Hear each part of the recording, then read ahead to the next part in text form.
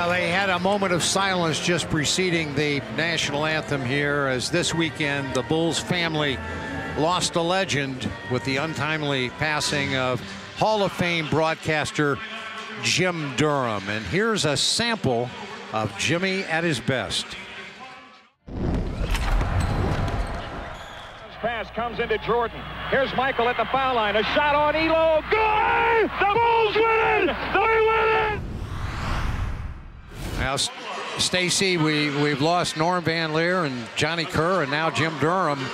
Uh, truly a, a uh, deserving of being in the Hall of Fame, but more than that, just a class, class guy. Well, he, he was a great guy. I mean, great friend of mine. I've known him since I came into the NBA worked with him on a couple of college basketball games. And I, I tell you what, I, I, was so sad to hear that because you know I listened to him last week in the NBA game in Miami, and voice just sounded so energetic. He's the best that ever did it.